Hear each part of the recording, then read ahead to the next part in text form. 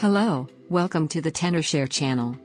In this video I'm going to show you how to fix downloading Do Not Turn Off Target issue on Android device.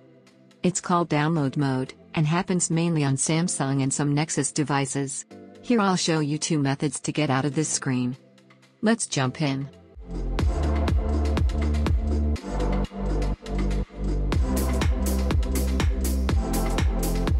Method 1, use volume down and power button.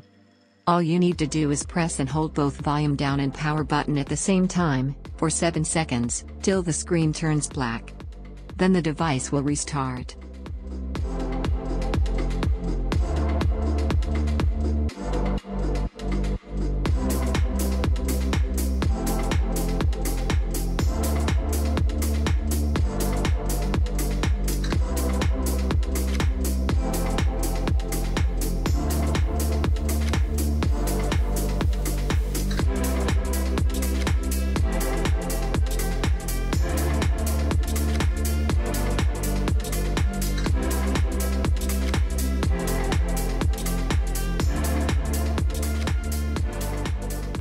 Well done.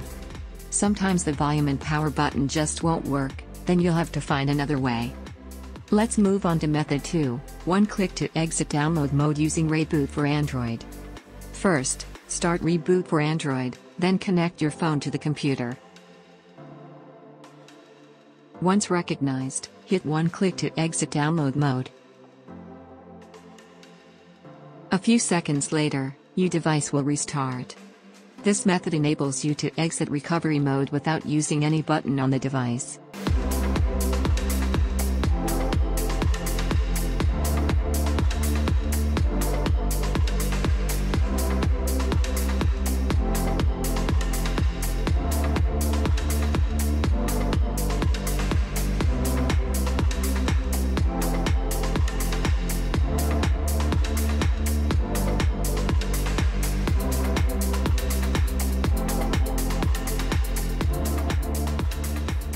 Well done. Your device is now back to normal. Congratulations. To download, check out the link in the description below. For more videos like this, subscribe to the Tenorshare channel to keep watching now. Tenorshare, better software, better life.